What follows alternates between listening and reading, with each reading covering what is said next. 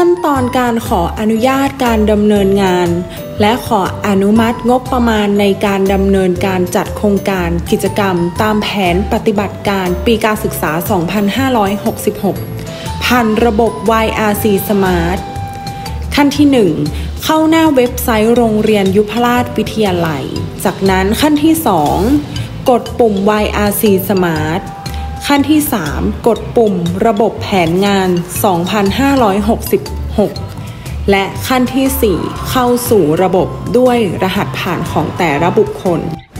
ขั้นตอนต่อไปนะคะ เราจะคลิกเข้าสู่ที่ตรงจุดดำเนินการประเมินผล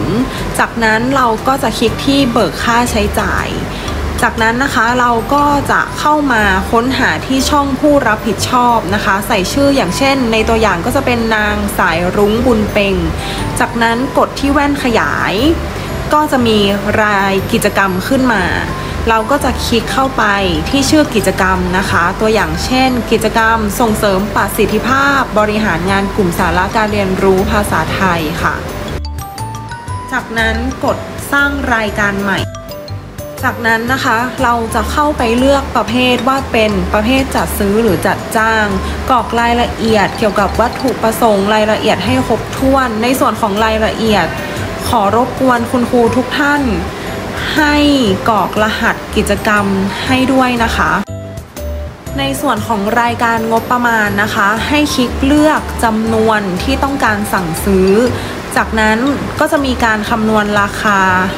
ให้บริเวณด้านล่าง คุณครูก็ดูยอดรวมทั้งหมดนะคะ อย่างเช่นตามตัวอย่างก็จะเป็น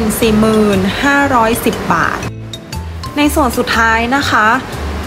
ในส่วนของผู้รับผิดชอบกิจกรรม และหน่วยงานที่รับผิดชอบ ข้อมูลจะมาแบบอัตโนมัตินะคะ และในส่วนของหัวหน้ากลุ่มงาน หัวหน้ากลุ่มสาระ ลงชื่อรองผู้อำนวยการ อันนี้ขึ้นอยู่กับ หัวหน้าของคุณครูนะคะ ในส่วนที่จะขอเน้น และเป็นจุดที่สำคัญที่สุดคือบรรทัดสุดท้าย รองผู้อำนวยการโรงเรียนจะขอให้คุณครูทุกท่านใส่เป็นชื่อของท่านรองธนพลกมลหัดค่ะ จากนั้นคุณครูกดบันทึกก็จะเสร็จเรียบร้อยค่ะ